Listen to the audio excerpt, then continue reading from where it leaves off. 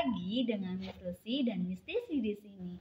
Oke, teman-teman, hari ini Miss Lucy dan Miss Desi akan mengajak kalian untuk melakukan kegiatan sensory activity, yaitu rainbow necklace. Oke, di sini Miss Lucy sudah ada table mat, terus ada tray, ada mangkok kosong, uh, mangkok kosong, terus ada material rainbow necklace. Oke, nah Miss Lucy akan buka nih.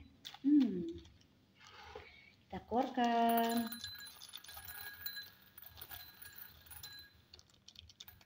Oke, sudah. Nah, terus di sini juga sudah ada benang karet. Nah, teman-teman, hari ini Miss Lucy akan mengajak kalian untuk membuat kalung nih.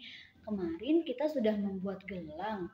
Nah, sekarang Miss Lucy akan mengajak kalian untuk membuat kalung.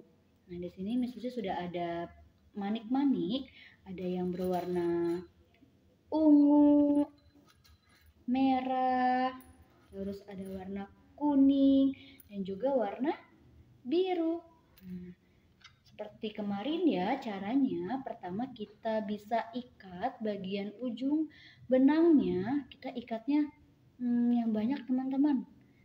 Tiga atau empat kali ikatan. Tiga satu lagi.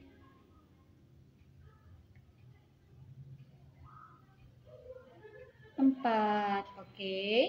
Nah sekarang Miss Lucy akan masukkan manik-manik berwarna ungu terlebih dahulu. Kita masukkan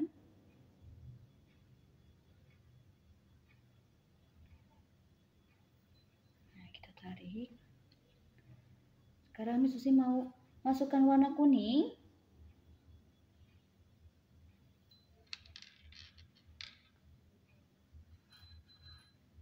Lagi.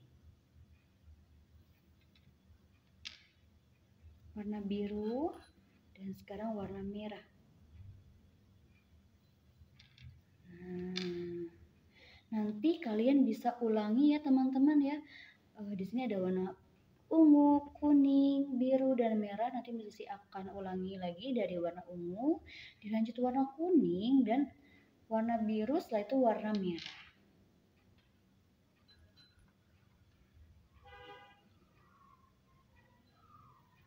Oh iya teman-teman, kegiatan kita kali ini bagus loh untuk melatih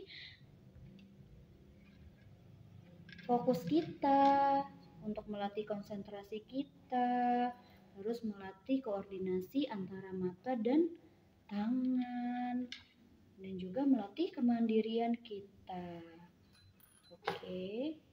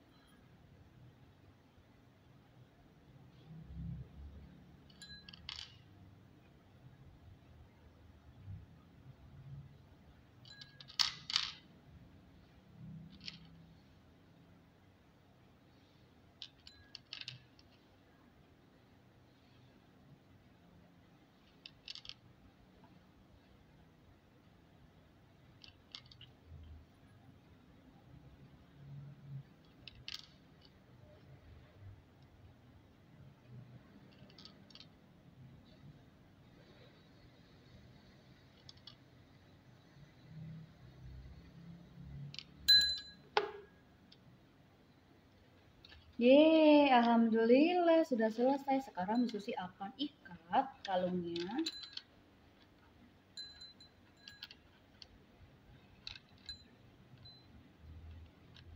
Kita ikat.